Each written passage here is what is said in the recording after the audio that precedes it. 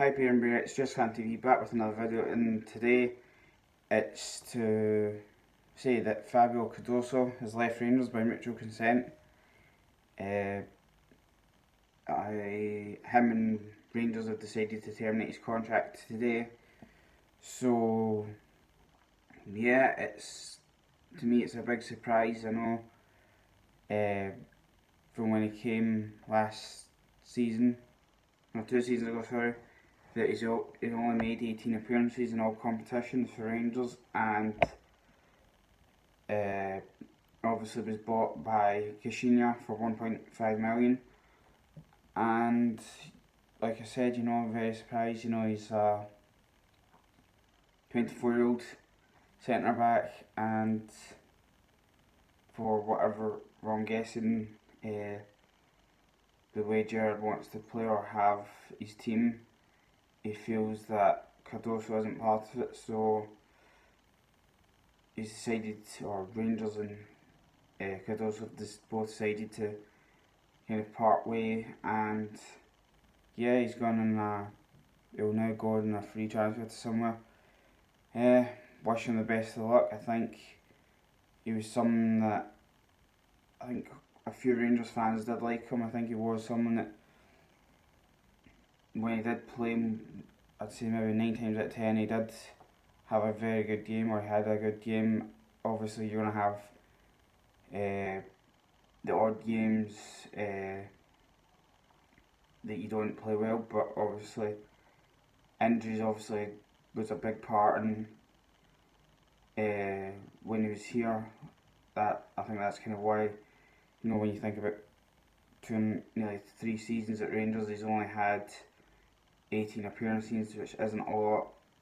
But you know, I I wish him the best of luck, and hopefully someone will take him. I'm sure. Probably a team in Portugal will probably look at probably take him there, and yeah, like I said before, you know, best luck to him, and I hope you get a club as soon as possible. Uh, what are your thoughts about uh, Cardoso leaving the Euro? Happy? Are you shocked? Are you surprised? Are you angry? Uh, what are your thoughts? Them down the comments. Uh, I think for me, it's like I said, you know, I'm. I can understand him going, but I think you know to only played 18 games is a shock. I didn't think it was that kind of low, but you know, obviously the way it's looking with Katic, Goldson, uh, and anyone else that obviously is hopefully going to come in, that's I think a position that obviously Gerrard wants to strengthen, and it's obviously now uh, up to Gerrard to decide who's going to be the, the centre back, and obviously we'll have to uh.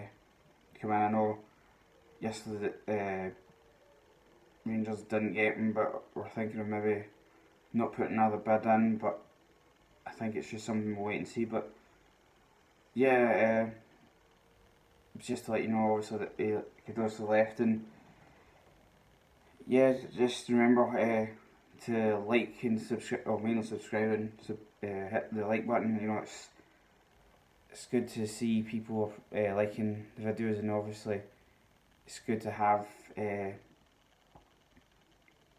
a good number of subscribers and which I'm really appreciative to everyone that does subscribe and if you're new or you haven't forgotten to you know please subscribe you know it does mean a lot to me and uh, the notification bell also helps yourselves uh, to know when the next video is uploaded.